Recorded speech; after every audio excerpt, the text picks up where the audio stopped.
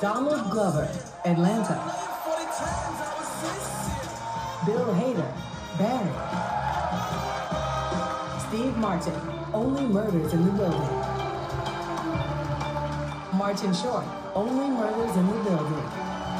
Jeremy Allen White, The Bear. All right, and the Golden Globe goes to Jeremy Allen White, The Bear.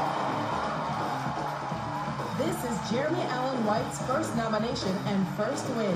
He wins this Golden Globe tonight for his role of Carmen Carmy Berzatto in The Bear.